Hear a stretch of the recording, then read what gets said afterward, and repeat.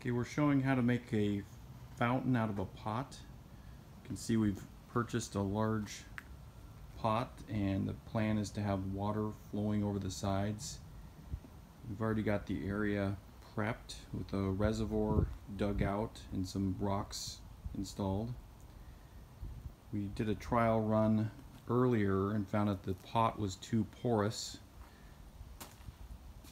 and we ended up having to seal it with some rubber paint.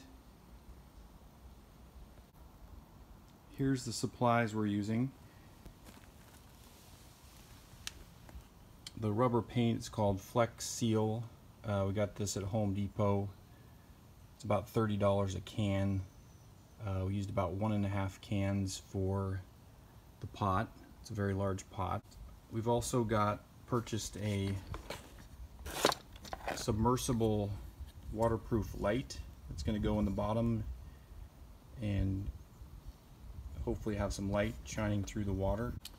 We're using a submersible water pump which is 800 gallons per hour. It was about 25 to 30 dollars on Amazon. Uh, on the trial run we found out that one pump is really not enough so I decided to use two, which will allow us for a little bit more, uh, allow for more adjustment um, in the flow. These have, um, can adjust the flow right here. And we've got some tubing that's going to go through the bottom of the pot. We're going to seal that with some water weld which is a epoxy that was also purchased on Amazon. The other problem that we discovered is because of the amount of water in the pot, the, the pump just allows water to backflow uh, when it's turned off. So purchase these one-way valves. They're going to be attached to the tubing so when the pump is off, uh, the water won't backflow. We also got these clamps also on Amazon. Um, I didn't want to take any risk that the tubing would become unattached or leak from the pump. So this is a half to one and a fourth inch clamp. Just put around the tubing and can tighten For a reservoir, we have some cinder block where the two pumps are going to go in the cinder block. I'm going to put some brick on top to protect them and keep some of the smaller rocks away from the intake area. The reservoir is surrounded by this rubber liner. Uh, I think it's a Firestone rubber it's actually one of the more expensive kind. It's a 45 mil. It's fairly thick. You can get the 14 mil, but they're very thin, much easier to puncture through. Um, I didn't want to have to risk any leaking. I also put an old piece of rubber down the bottom to kind of help protect uh, the bottom from any punctures. Okay, we have our two pumps in the cinder block we've put at the bottom of the reservoir and they're attached by the clamps to the tubing. Tubing is then going to come up the bottom of the pot. So now I'm going to put some bricks over the top of the cinder block to protect the pumps a little. Okay, what I'm doing now is chipping a little of the cinder block away so the tube can then come up through the middle of the pot. It doesn't pinch it. I also don't want too much weight from the rock on it to pinch the flow of, the, of water.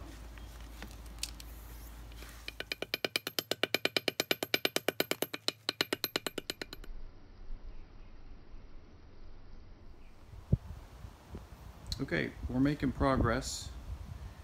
We've got the pot in place. We've made sure it was level, which of course is very important because you want the water to flow off the top very evenly. We've got our two pumps buried down into the cinder blocks and protected by bricks. The tubes are going from the pumps into the tubes.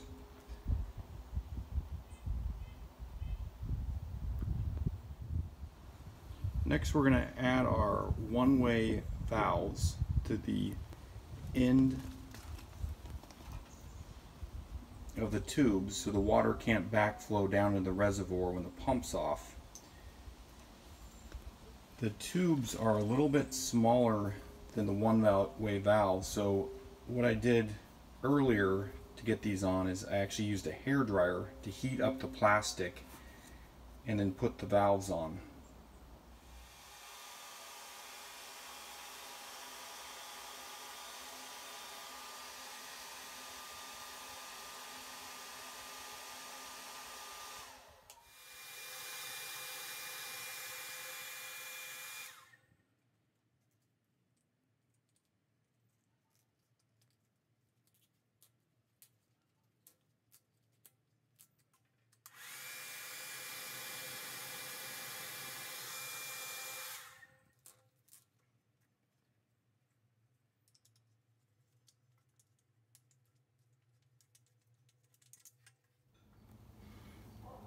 Okay, I'm going to be using this water weld by JB Weld.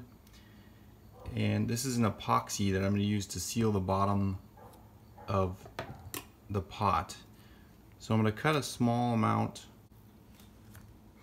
So I've cut off the piece that I'm going to use. And then you peel off the end and re-stick it on the unused portion. And you just take it and mix it. You can see there's a white and plus a gray color you want to mix completely.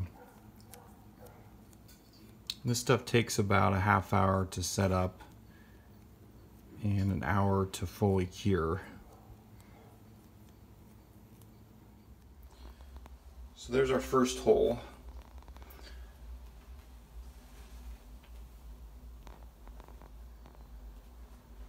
I'm just going to shove it down in the hole and let it cure.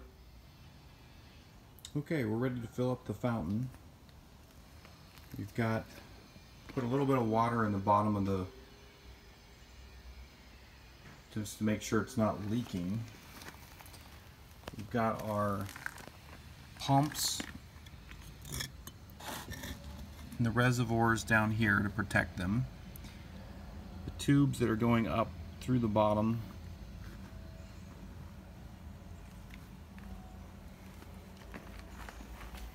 got our light installed. Our one-way valves on the end of the tubing to prevent the water from coming back.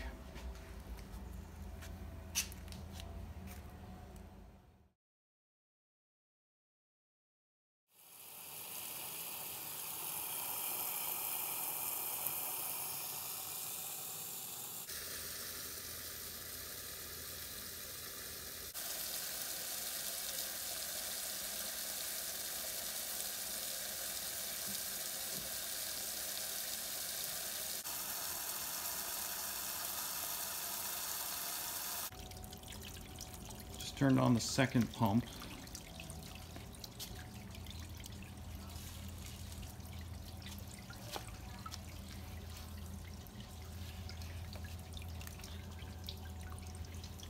Not sure if I care too much about the backside, but